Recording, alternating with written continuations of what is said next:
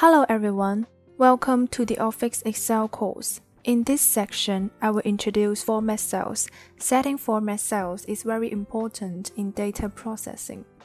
There are many types of format cells in Excel. I will explain them in detail.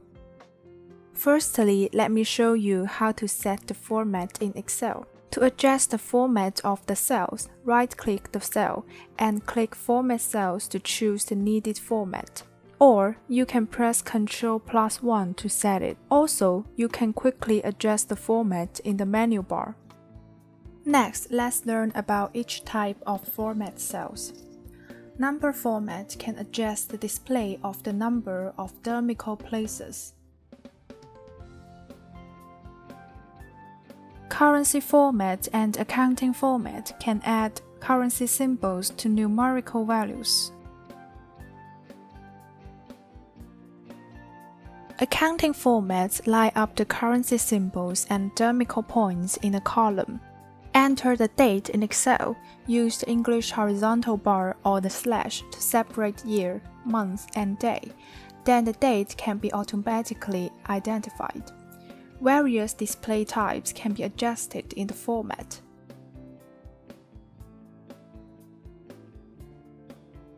The date has a corresponding special numerical code. When the date is displayed in general format, it will be displayed as a string of numbers. This number is the number of days since January the 1st, 1900. Time format also has a corresponding numerical code. Enter time in Excel, you can choose the display type in the format. Percentage format multiply the cell value by 100 and display the result with a percent symbol. Fraction format can convert numerical values into fractions. Scientific format will be displayed as a few powers of decimal e plus 10.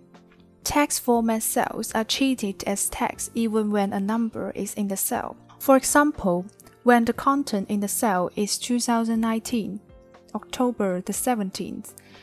Excel will automatically recognize it as a date type. If it is a text format, it will only be treated as a text. And it will not be calculated when we calculate the date.